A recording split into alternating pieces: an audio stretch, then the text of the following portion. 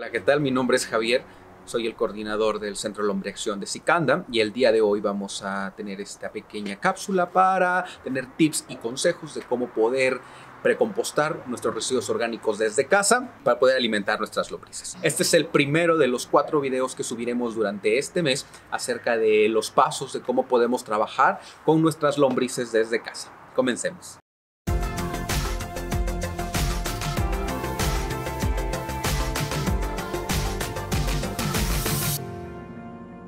Lo primero que debemos de hacer al sacar todos los residuos orgánicos de nuestra cocina, de nuestros alimentos, es empezar a clasificarlos. Las lombrices, como ya lo había mencionado en anteriores videos, eh, no se alimentan de residuos que contengan grasa, que contengan vinagre, que contengan sal en exceso o que vengan con residuos de insecticida o con residuos de maderas tratadas. Eh, de preferencia vamos a mantener nuestras lombrices con residuos vegetales, ya sea de cáscaras de fruta, de cáscaras de, hortalizas, cáscaras de verduras y eh, omitir por cualquier circunstancia restos de comidas elaboradas para el consumo humano, ya sea carne, huesos, tortilla, pan, harinas elaboradas, ya que estas no les son eh, ningún beneficio para las lombrices. Entonces, ya que tengamos nuestros residuos eh, bien separados de una manera adecuada, podemos comenzar con tener un bote, una caja, este, un espacio en el jardín donde podamos vertir estos residuos orgánicos. Es importante que si lo hacemos en algún recipiente, este recipiente tenga agujeros por la parte de la base y pueda drenar todo el líquido que estos residuos van a estar soltando constantemente. Los residuos orgánicos van a pasar un tiempo de dos semanas en este bote, en este contenedor, en este, en, este lugar haciendo un proceso de maduración o de estabilización, como ustedes lo quieran llamar. Muchos de los residuos orgánicos que nosotros vamos a sacar de casa no van a ser posible que se los demos de alimento a las lombrices de manera directa porque pueden contener demasiados jugos, pueden ser demasiado ácidos, pueden tener aceites esenciales que las lombrices no van a poder eh, eh, consumir. Entonces es importante que los residuos orgánicos eh, que, tengamos lleven un proceso de maduración o de estabilización. Es por eso que en este, en este contenedor, en este lugar donde nosotros vamos a vertir nuestros residuos, van a pasar un tiempo de dos semanas, como lo mencioné anteriormente. este proceso es el adecuado o es el tiempo idóneo en el cual se tiene que madurar estos residuos ya que si pasara más tiempo de dos semanas, los residuos van a empezar a compostarse. Eh, ¿Qué quiere decir esto? Que al momento de compostarse empiezan a desintegrarse y empiezan a generar eh, sustancias húmicas, o sea, ya se vuelven abono. Entonces las lombrices ya no van a tener de qué alimentarse si nuestros residuos se empiezan a descomponer por sí solos y empiezan a generar abono por sí solos. Entonces las dos semanas es el momento adecuado en el cual los, los residuos ya maduraron y ya pueden ser, ser, ser alimento de las lombrices. Estos, estos residuos al momento de vertirlos o ponerlos dentro del bote o dentro del, recipiente que nosotros hayamos elegido, en anteriores videos mostramos las cajas eh, de plásticas que nosotros ocupamos para hacer nuestros lombricomposteros. Pueden ocupar los que tienen esa caja, la pueden ocupar para, para precompostear pueden conseguir un bote, pueden, este, como les dije, poner un, espacio en el jardín donde puedan tener estos residuos. Sería bueno que le adhirieran eh, materia seca.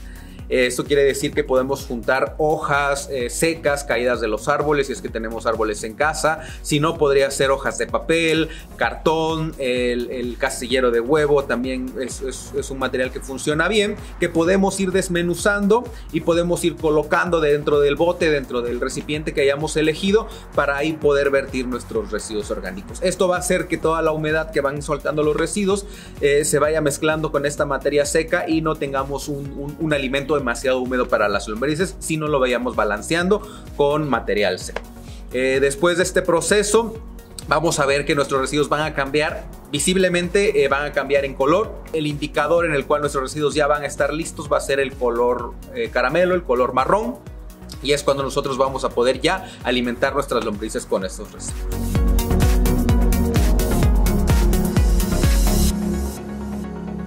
Nosotros ya tenemos en esta carretilla todos los residuos orgánicos con los que vamos a alimentar a nuestras lombrices.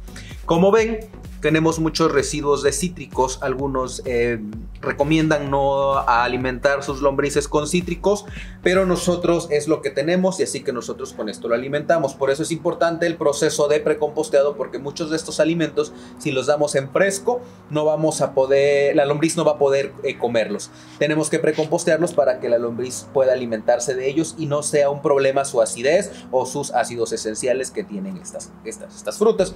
Entonces, este es nuestro, son nuestros residuos orgánicos. Como ven, hay fresa, hay kiwi, hay tomate, hay naranja, hay limón, uva, arándanos. Todos estos alimentos son un poco ácidos. Entonces, el proceso de precomposteado para nosotros es muy importante porque es, es una manera de cuidar a nuestras lombrices de que el alimento lo puedan ingerir rápidamente. Como ya vieron, nuestros residuos orgánicos son muy húmedos, entonces vamos a aplicar materia seca. La materia seca que nosotros aplicamos son hojarasca, hojas de los árboles que nosotros aquí en el CLA recogemos.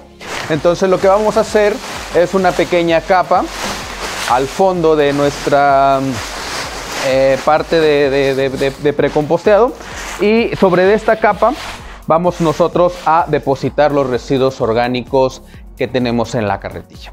Eh, es un proceso que nosotros hacemos para nivelar la cantidad de humedad, es algo que les mencionaba anteriormente, la cantidad de humedad de los residuos.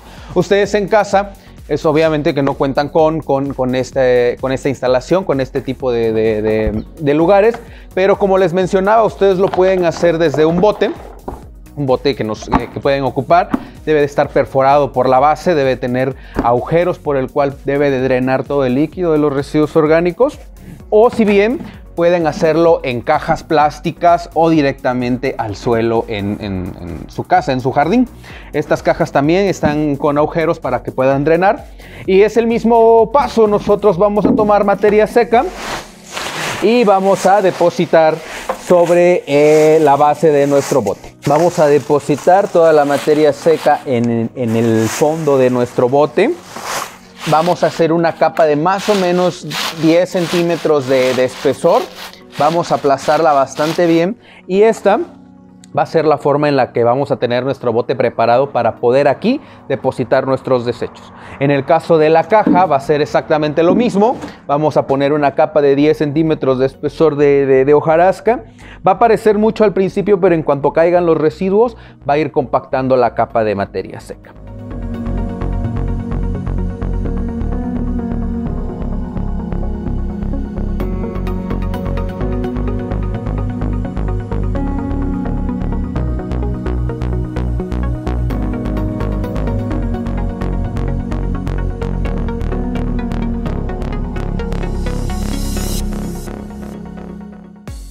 Muy bien, ya depositamos todos nuestros residuos orgánicos en nuestra materia seca, en nuestra área de precomposteado. Como ven, es bastante materia seca porque es bastante el jugo que desprenden estos residuos, ya que la mayor parte son naranjas, limones, mandarinas, kiwis, fresas. Es un residuo con una cantidad de humedad bastante alta. Entonces aquí lo vamos a dejar a que drene durante cinco días, a que se mezcle, a que empiece su proceso de descomposición. Obviamente va a comenzar a tener temperatura, a tener calor, por eso la montaña no es alta. Las montañas deben de ser pequeñas para que su calor no sea demasiado y así nuestra precomposta no se comience a quemar. Cinco días va a permanecer así y al sexto día lo vamos a voltear. Les vamos a mostrar cómo se ve en una semana para que ustedes vean la diferencia. Mucho, mucho más tarde. Muy bien, como ven, esto es el proceso después de una semana. Como ven, todo el color cambió, se ve un poco más oscuro. Y sobre todo, eh, esto es importante y esto quiero hacerlo notar, todas las, naranjas, todo el cítrico se ha vuelto de un color diferente. Este es el color que nosotros necesitamos en los cítricos para que las lombrices se puedan alimentar de ellos. Eh, todavía falta que pasen seis días más en precomposteado estos residuos, pero como ven, el color caramelo ya se empieza a notar, ya no es un color amarillo como el de la cáscara de naranja, sino es un color oscuro. El resto de los residuos ya está este, empezándose a descomponer y empiezan a, cambiar sus tonalidades y el proceso empieza a verse mejor para que las lombrices puedan alimentarse de él.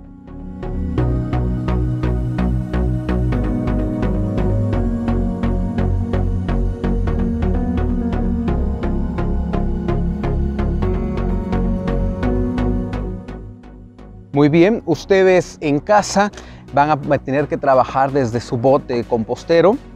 Y bueno, este bote va a tener este, pues la desventaja de que al tener los agujeros va a empezar a drenar todo el líquido hacia el, hacia el suelo. Entonces es importante que ustedes lo mantengan eh, en, un, lugar abierto, en un lugar de parte de su jardín o en algún lugar donde pueda eh, la tierra absorber estos líquidos.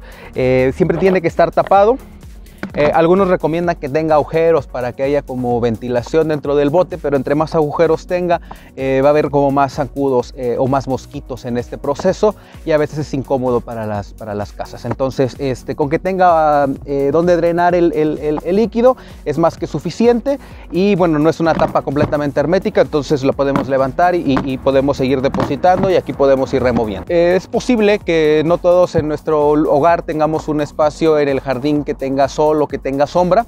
Entonces no es necesario que permanezca bajo la sombra completamente o bajo el sol constantemente, sino el espacio que nosotros podamos adecuar para estos residuos va a ser el, correcto. No es necesario que tenga eh, unas instalaciones adecuadas para hacer su precomposteo.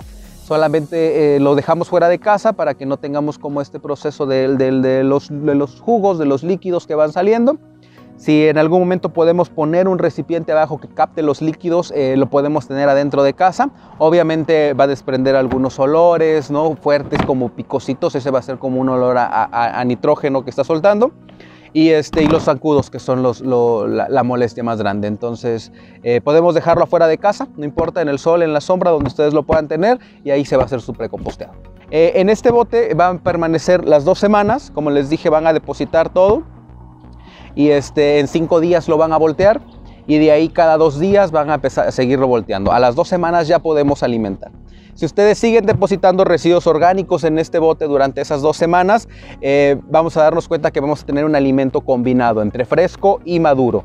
Es importante que los cítricos sí sean completamente precomposteados por dos semanas.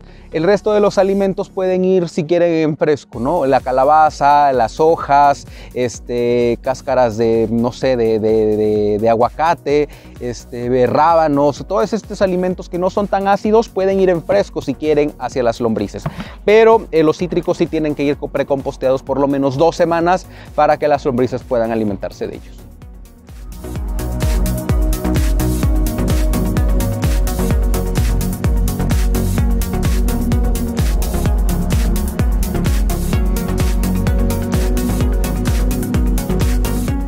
después de ver el proceso o todos los pasos que son eh, necesarios para precompostear nuestros residuos orgánicos, ustedes creo que tendrán bastantes dudas.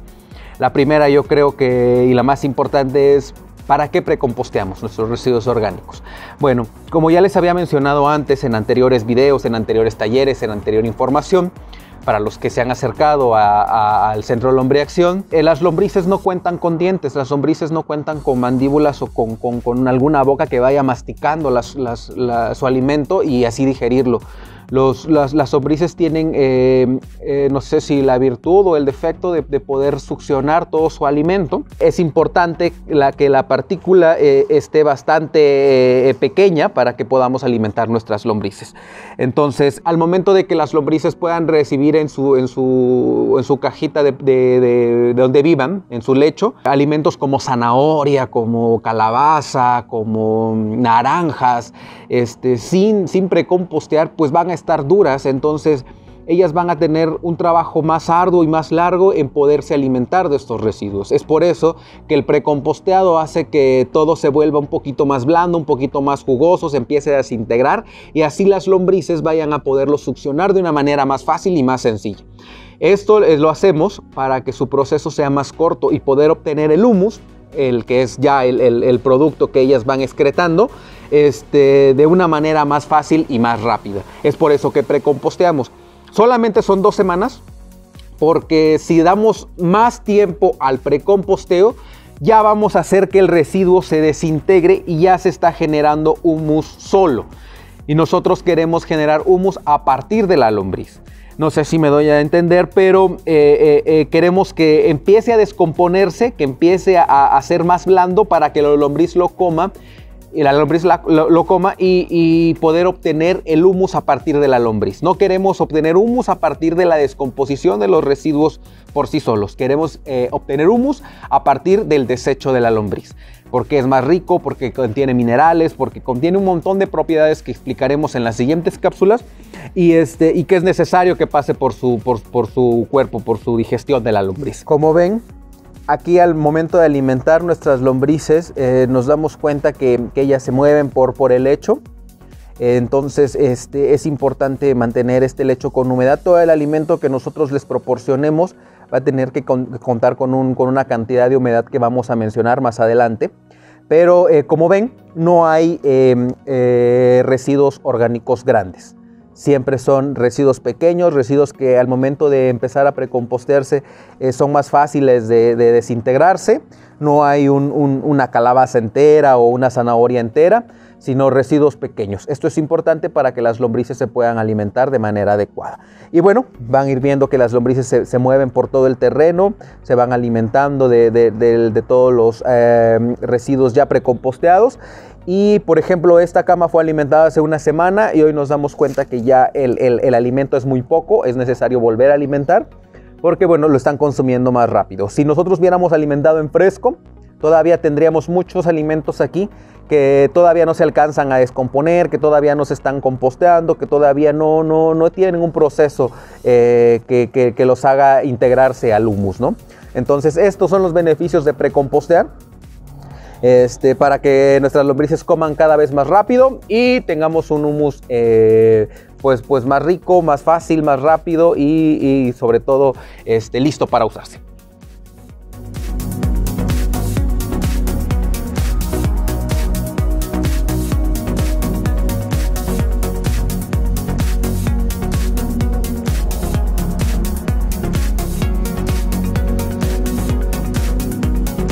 En resumen, nosotros empezamos a sacar todos los residuos orgánicos desde casa y los pasamos a un bote con agujeros en el fondo con una capa de aproximadamente 10 centímetros de materia seca que puede ser hojas, puede ser cartón, puede ser el, casillero de huevo o puede ser hoja seca recolectada de los árboles. Esa capa debe ser de 10 centímetros y sobre esa capa vamos a depositar todos los residuos orgánicos.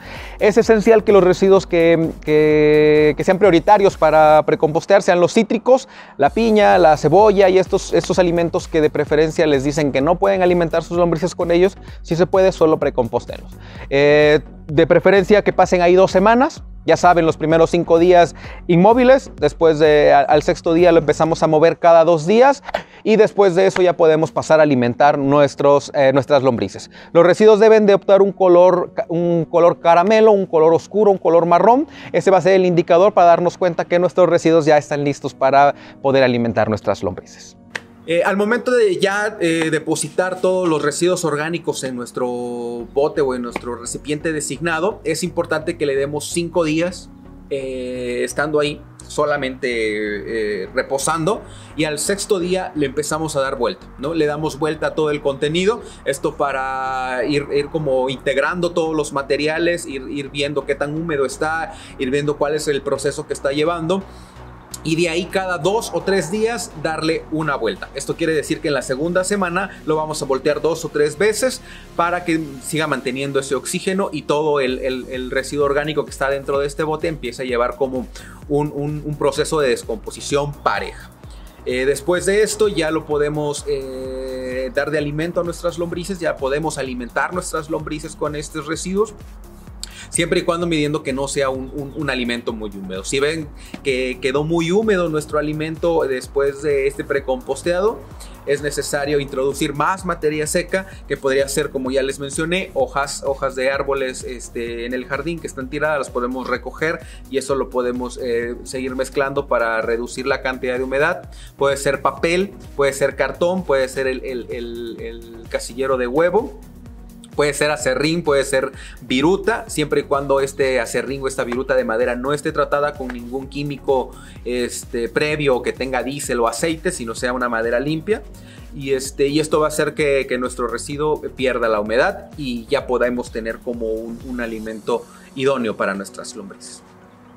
Al final de todo este proceso, este, nuestras lombrices este, van a tener eh, este proceso de alimentación y cada que nosotros, eh, después de dos semanas que nosotros hagamos el precomposteado, vamos a poder alimentarlas constantemente, ¿no? Esto es constante, generamos un, tambo, lo precomposteamos, alimentamos y vamos así generando cada dos semanas para poder seguir alimentando nuestras lombrices.